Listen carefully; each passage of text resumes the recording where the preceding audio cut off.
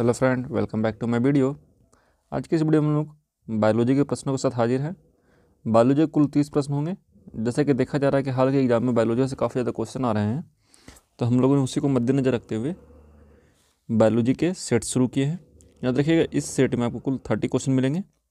आपसे उम्मीद रहेगा कि आप हर एक क्वेश्चन को याद करने की कोशिश करें और आपको जो भी प्रश्न नहीं आते हैं, उनको अच्छे से लिख लें, ताकि आप उनको एग्ज़ाम में ज़रा भी मिस नहीं करें। चलिए बढ़ते वीडियो में आगे की तरफ़। और अगर आप हमारे चैनल पर नए हैं तो प्लीज़ वीडियो को लाइक करके चैनल को सब्सक्राइब ज़रूर कर दें इसी टाइप के और भी इन्फॉर्मेटिव वीडियो के लिए। तो चलिए वीडियो में आगे तरफ़ बढ़ते हैं। पहला क्वेश्चन है, शरीर की सबसे बड़ी ग्रंथि कौन है? लाल ग्रंथि, थायराइड, यकृत या अमाशय? सही जवाब होगा,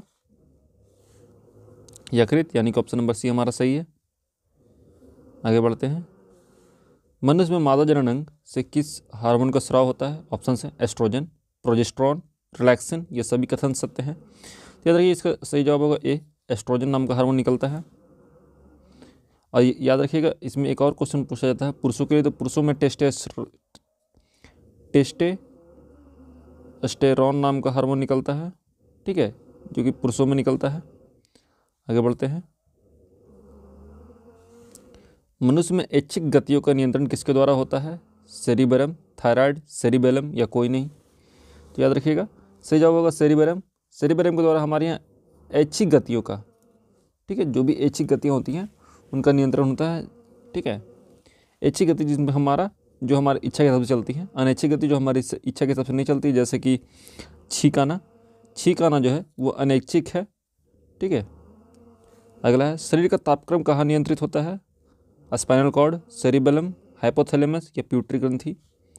सही जवाब होगा, हाइपोथैलेमस। हाइपोथैलेमस ग्लैंड में हमारा शरीर का तापक्रम, शरीर का जो टेम्परेचर होता है थर्टी सेवन डिग्री सेंटीग्रेड वो नियंत्रित होता है।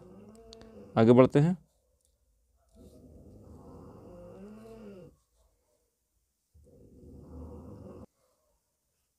आगे बढ़ते हैं। अमीमा में भोजन का अंतग्रहण किसके द्वारा होता है? ऑप्शन से कूटपाद। कोशिका मुँह, सीलिया या गुदा द्वारा। सही जवाब होगा, कूटपाद के द्वारा। ठीक है। आगे बढ़ते हैं। निम्न में से कौन सा एंजाइम लार में पाया जाता है? ऑप्शन है पेप्सिन ट्रिप्सिन टाइलिन कैमोट्रिप्सिन सही जवाब होगा टाइलिन ठीक है, यानी कि ऑप्शन नंबर सी हमारा। सही जवाब होगा। आगे बढ़ते हैं। वह प्रक्रिया जिसके द्वारा मनुष्य श्वास ग्रहण करता है तथा छोड़ता है, वह है श्वसन। स्वच्छो श्वासोच्छ। श्वास प्रश्वास निश्वसन। सही जवाब होगा ऑप्शन नंबर बी श्वासोश्वास आगे बढ़ते हैं। ऊर्जा उत्पादन के लिए कोशिका प्राय किसका उपयोग करती है? अमीनो एसिड, ग्लूकोज, वसाम्ल या सुक्रोज। तो देखिएगा ऊर्जा उत्पादन के लिए जो कोशिका होती है, वो प्राय ग्लूकोज का उपयोग करती है। C six H twelve O six आगे बढ़ते हैं।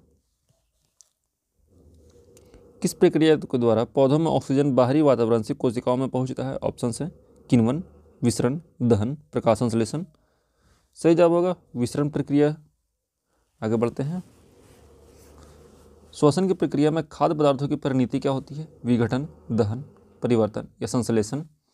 तो याद रखिएगा, श्वसन की प्रक्रिया में जो खाद्य प्रकृति होती है, खाद्य पदार्थों की परिणति होती है, वो विघटन की होती है, ठीक है? वो सारे विघटित हो जाते हैं। आगे बढ़ते हैं। अगला है, खाद्य पदार्थों का पौधों में स्थानांतरण का मुख्य रूप कौन सा है? ग्लूकोज, स्टार्च, सुक्रोज या प्रोटीन। तो सही जवाब होगा सुक्रोज। ठीक है, आगे बढ़ते एक स्वस्थ मनुष्य का रक्तचाप क्या होता है? नब्बे बाई साठ, एक सौ बीस बाई अस्सी, दो सौ बाई एक सौ तीस, one forty by one sixty. तो सही जवाब होगा एक सौ बीस बाई अस्सी। आगे बढ़ते हैं। मनुष्य के मस्तिष्क की सबसे बाहरी झिल्ली है पियामीटर मीटर ड्यूरामीटर इरेक्न इरेक्नोवाइड तो सही जवाब होगा इसका। ड्यूरामीटर याद रखिए मनुष्य के मस्तिष्क की सबसे बाहरी झिल्ली है, उसे हम लोग ड्यूरामीटर कहते हैं। अगला है, मनुष्य के सूंघने की क्षमता को नियंत्रित कौन करता है? ऑप्टिक पाली धनोन्द्री पाली, सेरिबरम, या इनमें से कोई नहीं। तो सही जवाब होगा धानेन्द्रिय पाली, ठीक है। आगे बढ़ते हैं। मनुष्य में बुद्धि एवं चतुराई का केंद्र है। ऑप्शन से सेरिबेलम हाइपोथैलेमस सेरिबेरम या स्पाइनल कॉर्ड सही जवाब होगा? ऑप्शन नंबर सी सेरिबेरम आगे बढ़ते हैं। रक्त में ग्लूकोज की मात्रा नियंत्रित रहता है।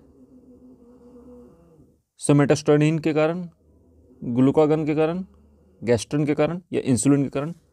याद रखिएगा, शरीर में जो, रक्त में जो ग्लूकोज की मात्रा होती है, वो नियंत्रित होती है इंसुलिन के कारण। इसलिए जब इंसुलिन की कमी होती है शरीर में तो ग्लूकोज या सुक्रोज पड़ने से हमें मधुमेह नाम की बीमारी होती है, जिसे हम लोग अंग्रेज़ी में शुगर भी या डायबिटीज़ भी कहा जाता है। आगे बढ़ते हैं। ऑक्सीजन है। ऑक्सीजन क्या है? तो ऑक्सीजन एक एंजाइम होता है। आगे बढ़ते हैं। जैव प्रक्रम के अंतर्गत कौन आता है? ऑप्शन ऑप्शन पोषण, उत्सर्जन, श्वसन, ये सभी। तो जैव प्रक्रम के अंतर्गत ये सभी के सभी आते हैं। ठीक है? आगे बढ़ते हैं। गोबर छत्ता किसके अंतर्गत आता है? ऑप्शन से परजीवी, स्वपोषी मृदजीवी या परासरणी तो सही जवाब होगा, मृतजीवी। गोबर छत्ता जो होता है, एक टाइप का मृदजीवी है। अगला है, वायुमंडल में सामान्यतः सी ओ टू कहाँ पाया जाता है? सी ओ टू कितना पाया जाता है? तो सही जवाब होगा, पहले ऑप्शन देख लेते हैं, अठहत्तर percent twenty one percent four percent या zero point zero three percent. तो सही जवाब होगा zero point zero three percent. ठीक है, याद रखिए, यहाँ पे एक पॉइंट था जो छूट गया है। आगे बढ़ते हैं। छाया पर नपने वाले पौधे को क्या कहते हैं? हिलियोफाइटस थियोफाइटस सियोकाइटस या इनमें से कोई नहीं। सही जवाब होगा सियोकाइटस अगला है, मनुष्य में मुख्य श्वसन अंग क्या है? फेफड़ा, नाक ट्रैकिया या क्लोम सही जवाब होगा, फेफड़ा। मनुष्य का मुख्य श्वसन अंग होता है फेफड़ा। आगे बढ़ते हैं।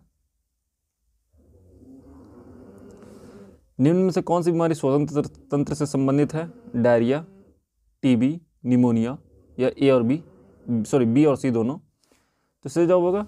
बी और सी दोनों टीबी और निमोनिया दोनों श्वसन श्वसन तंत्र से संबंधित बीमारियाँ हैं। अगला है उच्च रक्तचाप की अवस्था के क्या कहते हैं? हाइपोटेंशन पक्षघात हाइपरटेंशन या इनमें से कोई नहीं। हाई ब्लड प्रेशर जिसे उच्च रक्तचाप भी कहा जाता है, किस चलते इस अवस्था को कहा जाता है? हाइपर ठीक है, आगे बढ़ते हैं। मछलियों में उत्सर्जी पदार्थ क्या है? Amino acid uric acid urea या अमोनिया सही जवाब होगा अमोनिया अगला, पौधों में आवश्यकता से अधिक जल किस प्रक्रिया द्वारा बाहर निकाले जाते हैं? अवशोषण, वाष्पोत्सर्जन, उत्सर्जन या प्रकाश संश्लेषण। सही जवाब होगा वाष्पोत्सर्जन। आगे बढ़ते हैं। निम्न में से किसे प्रकाश संश्लेषी अंगक कहते हैं? पत्ती, हरित लवक अस्टोमेटा जड़ सही जवाब होगा पत्ती। पत्ती को प्रकाश संश्लेषी अंगक भी कहा जाता है, जिसके चलते हम लोग, जिसके चलते पेड़ पौधे प्रकाश संश्लेषण कर पाते हैं। अगला है, पौधों में गैसों के आदान प्रदान के लिए क्या रहते हैं? जड़, रंध्र, टहनी या तना सही जवाब होगा रंध्र। पेड़ पौधे के जो पत्ते होते हैं, जो पत्ते होते हैं, उनके बीच में छोटे छोटे छोटे छोटे डॉटेड टाइप के छेद होते हैं, जिन्हें हम लोग रंध्र भी कहते हैं। आगे बढ़ते हैं। फेफड़ा का आकार कैसा होता है? फेफड़ा का आकार जो होता है शंकुआकार होता है, ठीक है? कुछ ऐसे फैला हुआ होता है नीचे टाइप के जाके, ठीक है? ऐसे ऐसे ज़्यादा ज़्यादा नीचे फैलते चला जाता है। आगे बढ़ते हैं। आखिरी क्वेश्चन भोजन का पाचन किस प्रक्रिया का, किस प्रकार की अभिक्रिया है? उपचयन, संयोजन, अपचयन या विस्थापन। सही जवाब होगा उपचयन। जो पौधा, भोजन का पाचन होता है, वो एक टाइप का उपचयन अभिक्रिया है। तो आज की वीडियो में इतने फ्रेंड हम लोगों ने तीस क्वेश्चनों को देखा है। उम्मीद है ये क्वेश्चन जो होंगे, आपके एग्ज़ाम के दृष्टिकोण से काफ़ी ज़्यादा इंपॉर्टेंट होंगे और इन्हीं से कोई क्वेश्चन आपके एग्ज़ाम में हो सकता है, पूछा भी जाए। तो मिलते हैं आपसे नेक्स्ट वीडियो में, अगले तीस क्वेश्चन के साथ। उम्मीद है आपको वीडियो अच्छा लगेगा। अगर आपको वीडियो अच्छा लगा तो वीडियो को प्लीज़ लाइक कर दीजिएगा और चैनल को सब्सक्राइब कर लीजिएगा। इसी टाइप के और वीडियो के लिए, मिलते हैं नेक्स्ट वीडियो में। तब तक के लिए जय हिंद, जय भारत।